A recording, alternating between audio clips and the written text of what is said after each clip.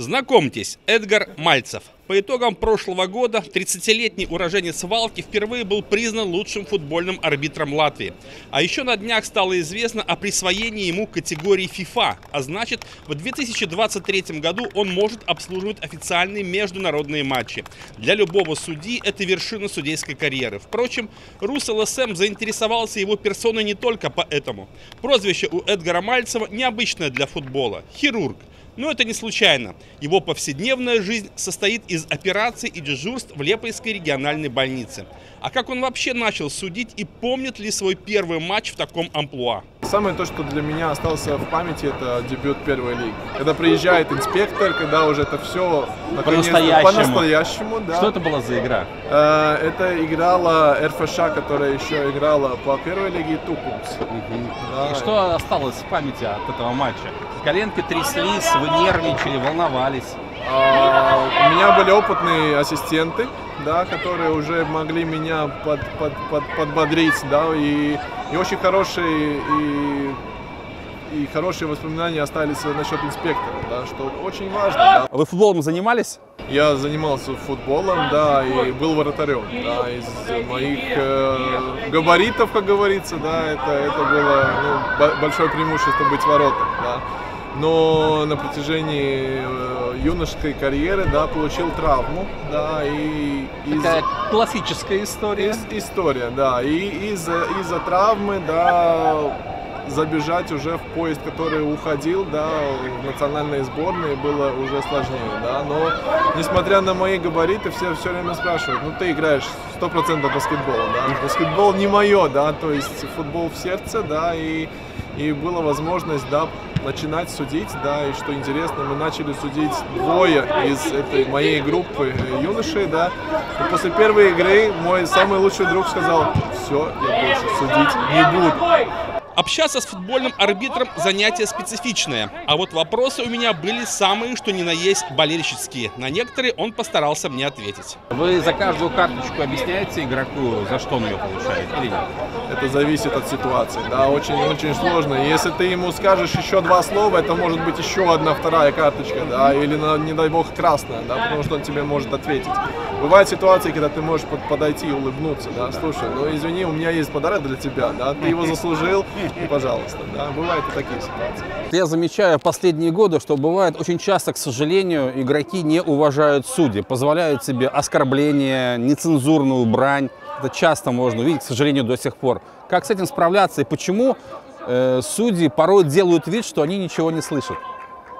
Сам- самое то, что важное, что каждое это, по идее, наказуемое действие, Действие, да. да. и по идее это карточки, да, и бывает, бывает, что такой, такой вот, как э, в футбольном мире называется мобинг, да, это может быть, ну, там, 4 желтые карточки в одном эпизоде, да, возьмем 4 мобинга, да, это 16 карточек, да, это никто не поймет, никто не, не, не, не, не- не воспримет, да, это нормально, да, и для меня, как я, я считаю, это самая лучшая превенция. Да? То есть ты видишь, что этот игрок заводится, что он недоволен, да, ты можешь подбежать, чисто с ним поговорить, да, и успокоить. В чем дело? Пошутить да, и да. в том числе. Как ты себя чувствуешь? Что-то болит, но и он начинает, он понимает, что ты его, да, ты на, на его стороне.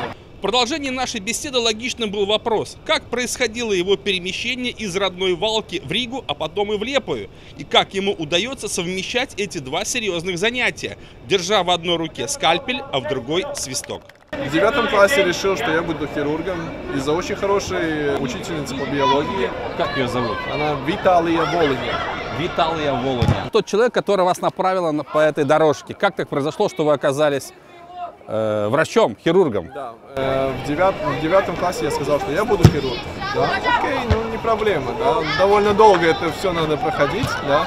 Э, я пошел с Валки после девятого класса, я пошел в Алмеру, да, в Алмера Свалс гимназия, да, чтобы улучшить знания по биологии, Да. по химии и лучше приготовиться к централизованным экзаменам. да.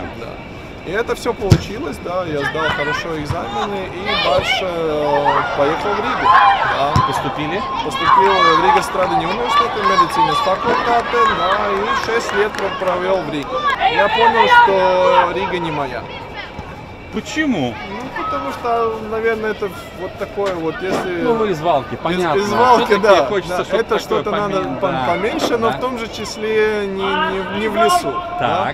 И поэтому я решил, что ну вот надо что-то ис- искать на периферии. Конечно, первый, первый момент я звонил э, в больницу в Алмере, да, что ближе к дому, ближе к семье. Но в тот э, момент э, в Алмере не надо было были, да, хирурги, да. да. Ну и тогда я по, по большому по методу тыка посмотрел в карте, где, где еще больницы региональные, да. И э, больница Лепа э, предлагала очень хорошие условия. Жена тоже хирург. А, То она есть- тоже из Валки, может быть? Нет, она Из Риги. Из А, Риги. из Риги. Да, Вот да, так. да, да. И это было еще сложнее ее привести сюда. Так как вы хирург, я могу предположить, что вид крови вас не пугает.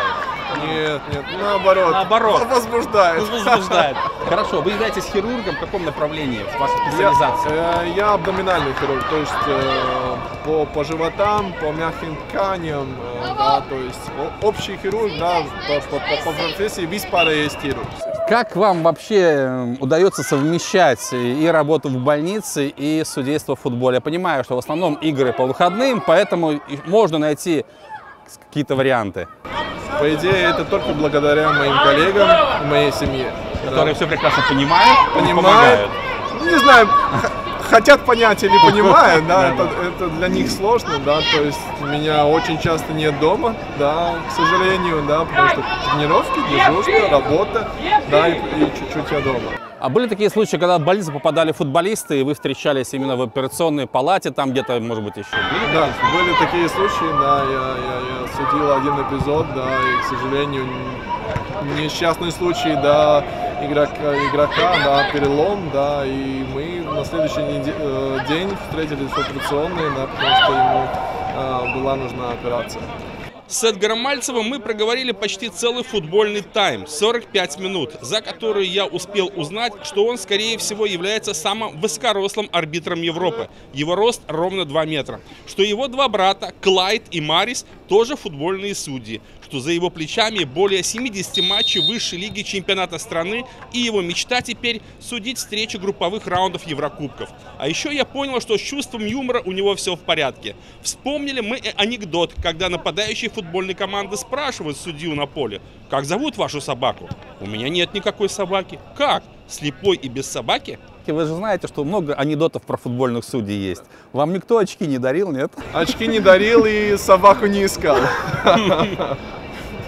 Ну, Так понимаете, о чем я говорю. Да, да, да, да. Ну, я, я, я слышу, к сожалению, я слышу эти комментарии, Да, да, да, но я никак не, на них не обращаю. Есть коллеги, которые, ну вот сейчас я ему отвечу, я говорю, ну это не, это представляешь, что с- 60 тысяч, да, Мгм. мы ездили за рубеж, да, там 60 тысяч, и тебя кофем кидают, монетами, батарейками, да, Мгм. здесь в Латвии этого нет, да, то есть мы еще половину от этого даже не чувствуем.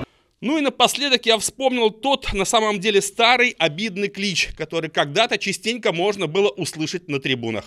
Еще с советских времен есть одно выражение, которое можно было услышать часто с трибун болельщиков. Вы это выражение знаете? Я подскажу. Судью намыло. Часто приходится слышать вам сегодня такое, или этого в принципе уже нет? По понятным причинам. Я думаю, что это до сих пор живет, да, и до сих пор это актуально, да, потому что э, не будет объективности, да, потому что ты можешь принять решение, да, для кого-то это праздник, а для кого-то это реально наказание, да. Поэтому я перефразирую выражение вместо судью намыло, я скажу судью в операционную.